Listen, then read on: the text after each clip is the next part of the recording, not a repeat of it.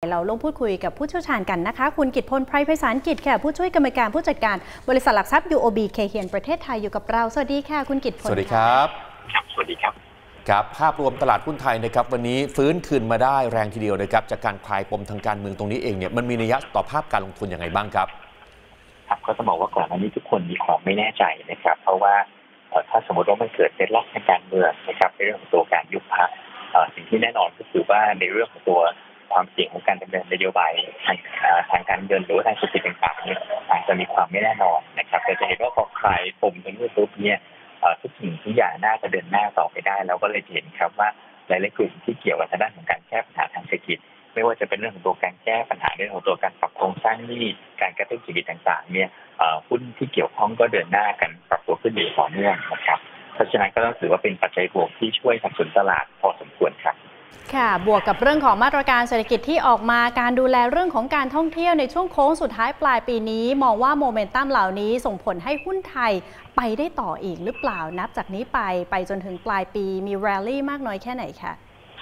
เอ่อยังคงมองภาพรวมของหุ้นหลายๆกลุ่มในเชิงบวกครับ แต่ว่าในเชิงอินเด็กซ์เนี่ยอาจจะมีจุดที่ต้องคำนึงนิดหนึ่งนะครับ เพราะว่า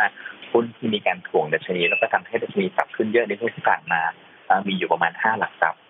ะครับ ซึ่งถามว่าถ้าเกิดเราเห็นภาพของการปรับตัวของหุ้นที่ปรับขึ้นมาเยอะตรงนี้เนี่ยอาจจะทำให้ภาพของอินเด็กซ์เองเนี่ยมีจุดถ่วงนะครับ แต่ว่าถ้าเราไปดูเราจะพบว่าหลายๆกลุ่มเลยเป็นกลุ่มที่น่าสนใจครับ โดยส่วนใหญ่แล้วเป็นกลุ่มที่เราจะเห็นโมเมนตัมของผลประกอบการเนี่ยดีขึ้นต่อเนื่องในช่วงไตรมาสสี่และไตรมาสหนึ่งนะครับ ได้แก่กลุ่มท่องเที่ยว ได้แก่กลุ่มของทางด้านเอ่อการบริโภค หรือว่าพวกของทางด้านกลุ่มค้าปลีกนะครับ กลุ่มของทางด้านการเงินรวมไปถึงกลุ่มของทางด้านธนาคารพาณิชย์ด้วย แล้วก็ ปัจจัยสำคัญที่เป็นตัวแปรกลุ่มหนึ่งอาจจะเป็นกลุ่มพลังงานครับที่ผลประกอบการแย่มากๆเป็นช่วงไตรมาสสี่แล้วก็น่าจะฟื้นตัวดีขึ้นในช่วงไตรมาสหนึ่งนะครับเพราะฉะนั้นในภาพรวมผมคิดว่าอินเด็กซ์เองเนี่ยอาจจะไม่ได้บวกเยอะมากนะครับ แต่ว่าโดยภาพรวมของทางด้านหุ้นในกลุ่มที่เราพูดมาข้างต้นเมื่อกี้ครับ น่าจะแบบมีปัจจัยบวกที่ทำให้ปรับตัวขึ้นได้ดีกว่าตลาดโดยรวมครับ ครับหมายความว่ากลยุทธ์หลังจากนี้เองเนี่ยภาพของอินเด็กคิดว่าหุ้นแต่ละตัวไม่น่าจะได้รับแรงกดดันจากตัวเดลต้าที่ฉุดลงไปใช่ไหมครับ อาจจะต้องเน้นรายตัวกันมากยิ่งขึ้นใช่ไหมฮะถูกต้องครับผมคิดว่านักลงทุนเองอาจจะต้องอย่ากังวลกับกรณีของการปรับฐานของเดลต้าแล้วก็อาจจะรวมไปถึงหุ้นอื่นที่มีผลต่อดัชนีมากๆในช่วงที่ผ่านมาครับก็อาจจะมองข้ามตัวนั้นไปแล้วไปเลือกตัวที่เราคิดว่า risk reward ดีแล้วก็ มีโมเมนตัมผลประกอบการที่ดีขึ้นในช่วงสองไตรมาสข้างหน้าครับค่ะ ในแง่ของ flow เป็นสิ่งที่เราต้องจับตามองกันอีกหรือเปล่าคะ fund flow ที่จะไหลกลับไปฝั่งของสหรัฐ หรือว่ามองแล้วยังคงมีทิศทางที่ยังเป็นโอกาสของผู้ลงทุนอยู่ หรือว่าควรจะจริง ๆ แล้วกระจายการลงทุนไปยังต่างประเทศก็ได้ด้วยเหมือนกันนะคะพี่กิตพลค่ะเอ่อผมคิดว่าในภาพใหญ่ของ fund flow เนี่ยอาจจะยังไม่ได้ไหลเข้าชัดเจน นะครับ แต่ว่าจริงๆ จุดที่น่าสนใจก็คือถ้าเราไปย้อนดูสถานการณ์ของปี 2001 นะครับ ซึ่งเป็นช่วงเวลาที่ใกล้ๆกันกับช่วงแบบนี้เราเห็นว่าเมื่อส่วนต่างดอกเบี้ยนโยบายของทั้งสหรัฐและไทยเนี่ยแคบลงไปเรื่อยๆ นะครับ ผลก็คือว่าฟันโฟเนี่ยโน้มเอียงในทางที่จะไหลจากภาวะทางด้านเก่าเนี่ยมากขึ้นนะครับระยะสั้นผมคิดว่าความกังวลหลายๆอย่างเนี่ยโดยเฉพาะถ้ามีปัญหาในเรื่องของตัวภาพของ geopolitical เนี่ย มันอาจจะมีจังหวะของการที่โฟลไหลไปอเมริกานะครับแต่ว่าพอพ้นความกังวลในเรื่องนี้แล้วเนี่ยเราเชื่อว่าโดยโมเมนตัมของเศรษฐกิจที่ดีขึ้น แล้วก็โดยผลประกอบการที่น่าจะเป็นปัจจัยบวกในช่วงสองไตรมาสข้างหน้า น่าที่ทำให้ฟันโฟเนี่ยมีภาพใหญ่ในการที่จะไหลกลับเข้ามาทางด้านไทยแล้วก็ภูมิภาคแถบนี้ครับครับพี่กิตพูดถึง geopolitical ขอถามต่อเนื่องเลยนะครับณตอนนี้เราประเมินเหตุการณ์ยังไงบ้างครับ จากจุดเริ่มต้นมีการนำขีปนาวุธจากทางฝั่งสหรัฐ ไปทางฝั่งยูเครนเอ่อทางฝั่งรัสเซียนะครับณตอนนี้คุณปูตินก็ประกาศพร้อมตอบโต้คืน เหตุการณ์ที่เกิดขึ้นเหมือนเป็นการทิ้งทวนคุณไบเดนแบบนี้การแก้ไขปัญหาของคุณทรัมป์ที่จะเข้ามาหลังจากนี้เองเนี่ยมันจะมีผลต่อภาพของตลาดทุนการเคลื่อนย้ายเงินทุนยังไงบ้างครับ อ่อจริงๆ ว่ามองมองต้องบอกว่าถ้ามองระยะสั้นเนี่ยมันคงทำให้ดีมาในสินทรัพย์ปลอดภัยเพิ่มขึ้นนะครับ แต่ถามว่าการความรุนแรงที่เพิ่มขึ้นตัวนี้น่ากังวลหรือเปล่าเนี่ย ถ้าเราดูในเชิงกลยุทธ์จริงๆแล้วเป็นลักษณะของการสร้างอำนาจในการต่อรองนะครับ เราจะเห็นว่าส่วนใหญ่เวลาที่มันจะมีการเจรจากันเนี่ยมันจะไม่มีหรอกครับเพราะอยู่เงียบๆแล้วทุกคนกลับมาคุยกันนะครับ มันต้องเป็นจังหวะที่ทุกคนตั้งแต้มต่อในการเจรจาโดยการ โจมตีให้มันแรงที่สุดแล้วถึงเข้าสู่โต๊ะนะครับดังนั้นผมคิดว่าถ้ามองในระยะสั้นมันอาจจะเป็นปัจจัยลบกับเอ่อภาพระยะสั้น แต่ถ้ามองในภาพระยะกลางแล้วจริงๆเนี่ยสัญญาณตรงนี้เป็นบวกว่ามันน่าจะมีความเปลี่ยนแปลงเอ่อในนโยบายที่เกี่ยวกับทางด้านของตัวตะวันออกกลาง หรือพื้นที่ของยูเครนรัสเซียเนี่ยในช่วงสองเดือนข้างหน้าครับค่ะ แล้วเรื่องนี้ส่งผลต่อฝั่งของพลังงาน ทั่วโลกและแน่นอน oil and gas ในบ้านเราด้วยหรือเปล่าคะเออใช่ครับผมคิดว่าในภาพนี้เนี่ยน่าจะบวกต่อราคาน้ำมันเพียงแต่ว่าถ้ามองแล้วตรงนี้เนี่ยยังเป็นปัจจัยเพียงกำไรระยะสั้นมากกว่าระยะกลางนะครับเนื่องจากถ้าเราติดตามดูเห็นว่าในช่วงไตรมาสสี่เนี่ยเอาประเด็นหนึ่งที่เราเห็นกันก็คือว่าการเพิ่มกำลังผลิตของฝั่งซาอุดิอาระเบียนะครับในขณะเดียวกันปีหน้าเนี่ยด้วยภาพของเศรษฐกิจลอยในหลายส่วนของโลกโดยเฉพาะยุโรปที่มันอาจจะไม่ได้ไปเร็วมากเนี่ยมีโอกาสที่จะทำให้ดีมานในฝั่งของราคาน้ำมันดิบไม่ดีเท่าไหร่ครับ เราจะเห็นว่าสภาวะเองก็ปรับ คาดการณ์นะครับ โดยคาดการณ์ราคาน้ำมันดิบปีหน้าปรับตัวลดลงด้วยซ้ำนะครับดังนั้นผมคิดว่าภาพของน้ำมันดิบเนี่ยเป็นบวกระยะสั้น แต่ว่าถ้ามองระยะกลางแล้ว น่าจะเป็นของการทรงตัวจากปีนี้ครับอืมครับขณะเดียวกันอีกกลุ่มหนึ่งที่รับกับไฮซีซั่นนะครับ รอบนี้เองการท่องเที่ยว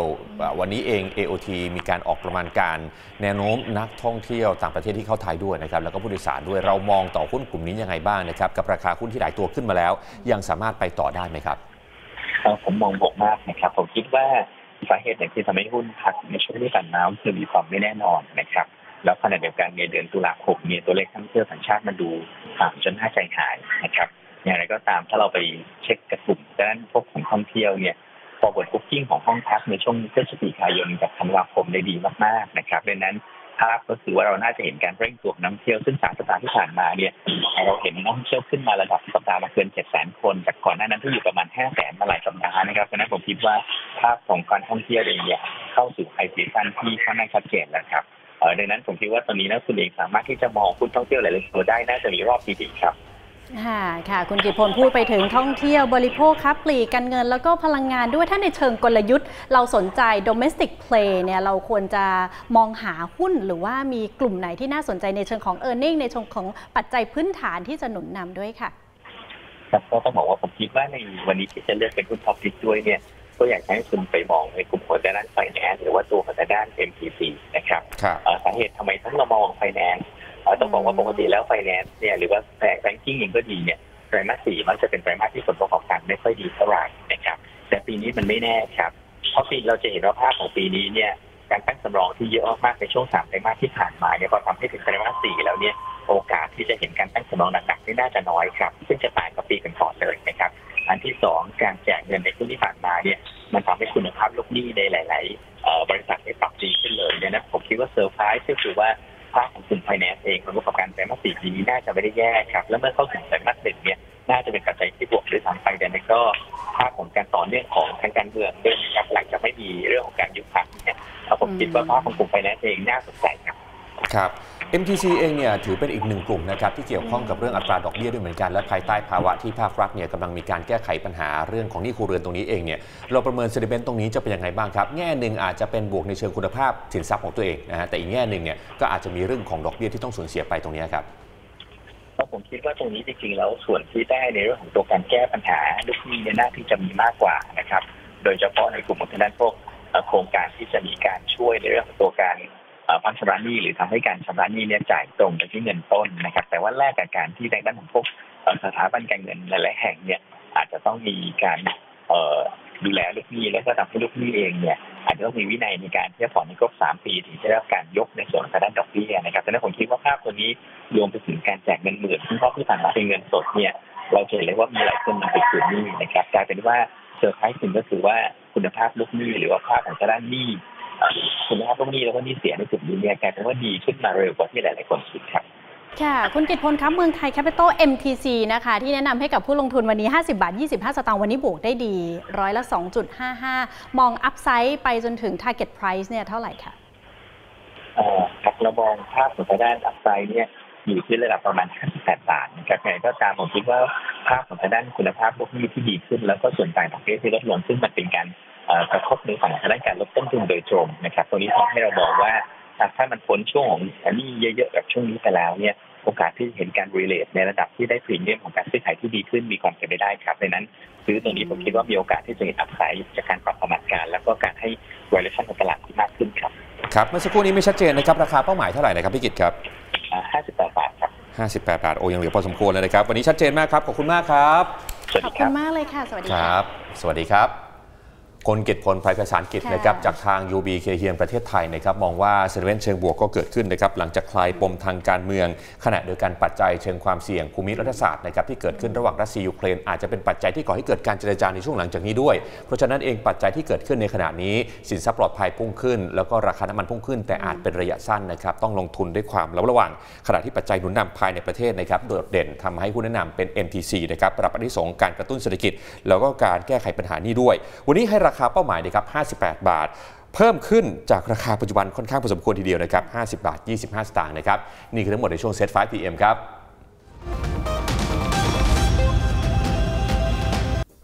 ขอบคุณที่ติดตามรายการ TNN รู้ทันลงทุนนะครับ และอย่าลืมกด subscribe กดกระดิ่ง กดติดตาม กดไลค์ กดแชร์ และติดตามรายการของเราทุกช่องทางออนไลน์ แล้วคุณจะไม่พลาดทุกคลิปวิดีโอดีๆ ไปจนถึงรายการสดคุณภาพจาก TNN ช่อง 16 ครับ